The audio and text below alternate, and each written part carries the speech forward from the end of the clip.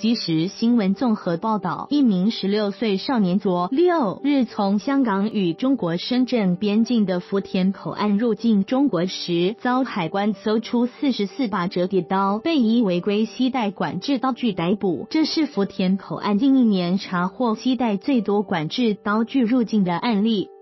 综合媒体报道，中国深圳黄港海关人员昨天下午三点左右察觉这名少年低头快步行走，觉得可疑，立刻上前拦截检查，在他的背包中查获折刀、弹簧刀等四十把管制刀具及四把刀刃，刀具样式各异，且都十分锋利，立刻将他拘捕。少年声称是刀具是从国外网站购买，正准备交给在中国的亲友贩售。